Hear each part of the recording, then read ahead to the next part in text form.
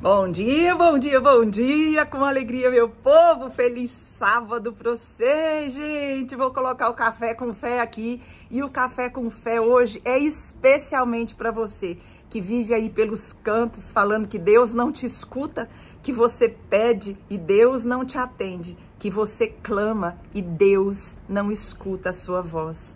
Se você anda aí pelos cantos, entristecido, achando que nada dos seus projetos, nada dos seus planos estão dando certo, que tudo que você programou para que acontecesse não deu certo e que você está frustrado, escuta o Café com Fé de hoje e ouça o recadinho que Deus mandou especialmente para você. Que Ele nos abençoe. Eu terminei de fazer o café com fé de hoje e falei, ô oh, Senhor, fala sempre conosco, abre os nossos olhos, porque muitas vezes a gente anda por aí achando que está enxergando alguma coisa e na realidade a gente anda às cegas. E hoje Deus abriu os nossos olhos. Vou começar, antes de colocar o café com fé, fazendo uma pergunta para vocês. Quem aí já viu nas redes sociais alguém dizer assim: meu Instagram, minhas regras. Já ouviram, não já? Quem já ouviu por aí na, no Instagram da vida as pessoas dizerem assim: minha vida, quem dita as regras sou eu. Meu relacionamento, minhas regras. Minha vida, minhas regras. Minha empresa, minhas regras. Esse é o segredo do Café com Fé de hoje nós ditamos as regras achando que estamos fazendo alguma coisa, mas na realidade ninguém dita regra para ninguém e ninguém dita nem as regras da própria vida. Quando a gente coloca aqui no Instagram minhas meu Instagram minhas regras, mentira. A pessoa que faz uma coisa dessa está mentindo e tentando se autoafirmar. Porque se ela vem aqui e posta é, uma receita, por exemplo, e ela não tem receptividade com relação à receita, ninguém curte, ninguém comenta, parece que ninguém gostou, provavelmente ela não vai postar mais receitas. Se ela vem aqui e mostra o look do dia, ninguém gostou do look do dia, não deu ibope, provavelmente ela não vai repetir look do dia se ela posta alguma coisa que bomba, que todo mundo gosta, que todo mundo aceita, que todo mundo achou interessante, podem ter certeza, ela vai voltar a postar esse tipo de conteúdo. Ou seja, quem dita as regras é quem está do outro lado da tela. A conta do Instagram pode até ser minha, mas quem dita as regras são vocês porque eu produzo o conteúdo que vocês vão gostar. Entenderam o negócio aí? Num relacionamento, quem dita as regras sou eu. Mentira! A gente acaba sempre fazendo o que o outro gosta, o que o outro quer, porque quando a gente se dispõe a amar de verdade e a viver com outra pessoa, a se relacionar com outras pessoas, a gente prioriza a alegria do outro, a gente quer ver o outro bem, a gente quer fazer o outro se, se sentir bem. Então, meu relacionamento, quem dita as regras, não sou só eu, o meu parceiro também. E da mesma forma para ele. E por que que no nosso relacionamento com Deus, nós é que precisamos ditar as regras? Eu sonho, Deus tem que realizar. Eu faço um projeto, Deus tem que resolver. Eu coloco uma programação na agenda e Deus tem que executar no meu tempo e na minha hora. Eu faço algum plano, eu quero alguma coisa, eu preciso de alguma coisa para me sentir bem, Deus tem que me dar. Porque se ele não me der, eu vou achar que ele não me escuta, eu vou achar que ele não me ouve, que ele não gosta de mim, que ele não me atende. E o que eu mais recebo de mensagens aqui nos directs é: eu estou desistindo. Está difícil, Deus não me ouve, Deus não resolve, Deus não me atende. Eu falo e Deus não me escuta. Sabe o que tem acontecido, meus amores? Nós estamos querendo ditar as regras das nossas vidas para Deus. A gente faz a nossa programação e quer que Deus atenda. Nós precisamos é saber qual é a programação de Deus para nossa vida. O que Deus programou, quais são as regras dele para a gente viver.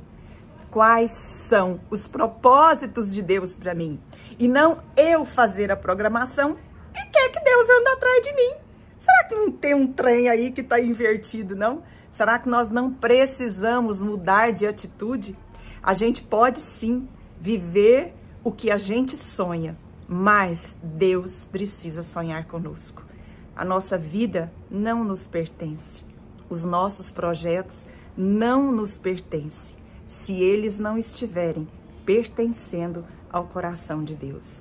Vou colocar o café com fé para vocês hoje aqui e espero que essa palavra alcance o coração de todas as pessoas aqui da nossa mesa harmoniosa e para quem mais vocês compartilharem que vivem por aí pelos cantos achando que Deus não te ouve, que Deus não te atende, que Deus não escuta o seu clamor, que Deus não escuta a sua voz. Ouça primeiro a voz de Deus e aí você vai saber por que ele está em silêncio para você em muitas situações. Que Deus nos ajude, que ele nos abençoe e que ele nos capacite e nos dê discernimento todos os dias para vivermos como verdadeiros filhos do Pai. Feliz sábado para vocês, viu? Meus amores, bom dia, bom dia, bom dia, com alegria, meu povo abençoado. Feliz sábado para todos nós, feliz vida, feliz existência para todos. No nosso café com fé de hoje, a palavra que Deus nos entrega é: Minha vida, minhas regras. Meus programas, meus sonhos, minhas regras, meu tempo. Meus sonhos eu executo.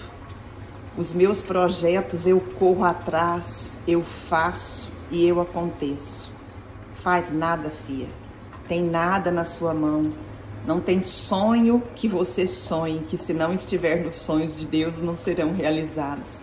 Não tem projeto no seu caderninho, não tem anotações na sua agenda que se não estiverem com as bênçãos de Deus não sairão do papel.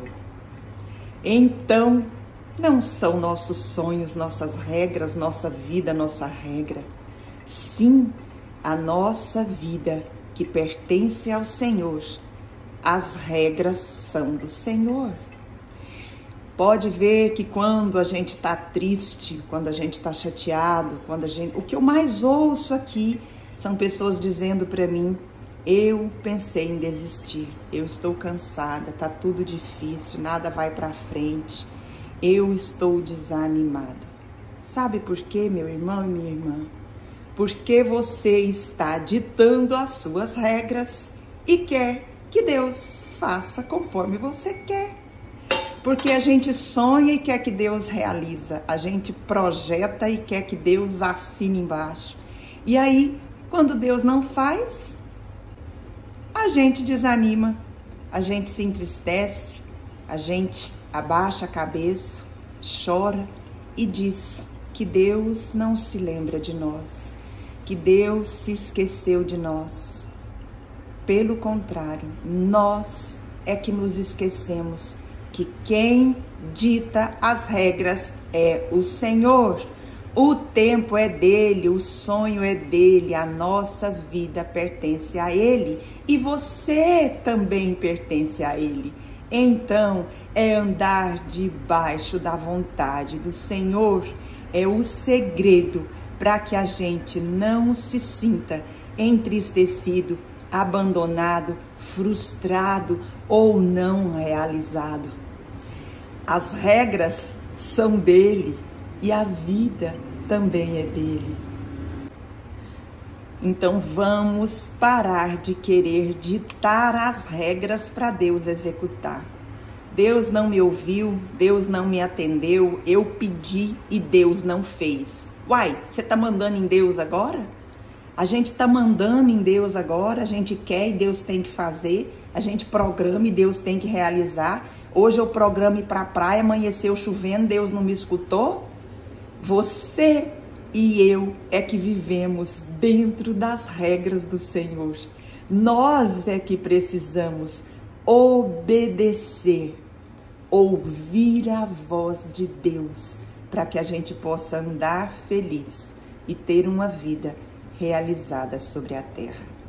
Que essa palavra do Senhor fale ao nosso coração, que nos dê entendimento, que nos dê sabedoria e discernimento, para que a gente possa parar de sofrer, parar de sofrer com ansiedade, parar de sofrer com medo, parar de sofrer com a insegurança, parar de sofrer por não ter seguido adiante em algum momento. A vida pertence ao Senhor e as regras é Ele quem faz. Que Ele nos abençoe, que Ele nos ensine, que Ele coloque no meu, nosso coração, no meu coração, no seu coração, humildade, calma, paciência, confiança e descanso nas promessas do Senhor. Que essa palavra fale ao nosso coração e que a gente possa vivê-la todos os dias da nossa vida. E que o Senhor nos ajude. Feliz sábado para vocês, tudo, meu povo. Na presença de Deus fica tudo mais fácil. Posso ouvir um amém de alguém?